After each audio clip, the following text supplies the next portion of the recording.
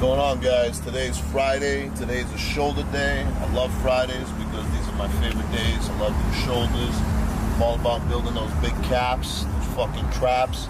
I want to look like a linebacker every time I'm walking down the street. So today, I'm gonna head into the gym. I'm gonna kill a serious shoulder game. I'm gonna blast those fucking traps. And I'm gonna throw some arms in there. Today, I want to walk out of that gym looking like a fucking beast. I'll see you all there.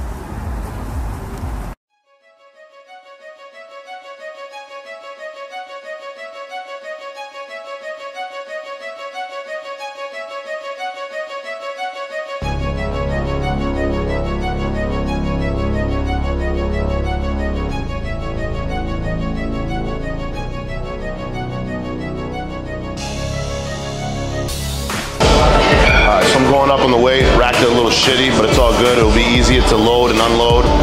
So I'm gonna go heavy, light, heavy, light. That's gonna be supersetting. Let's build some massive shoulders today.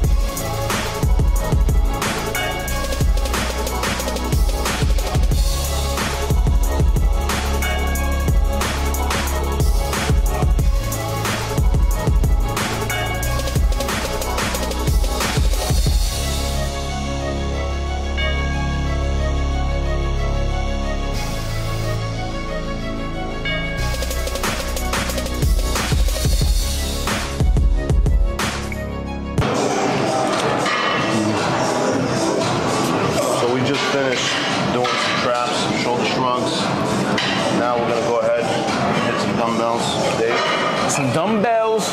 Yeah, we did four sets of this, all right? Four sets of shoulder shrugs, 10, 10 reps, four sets. Nothing crazy, 225, 215.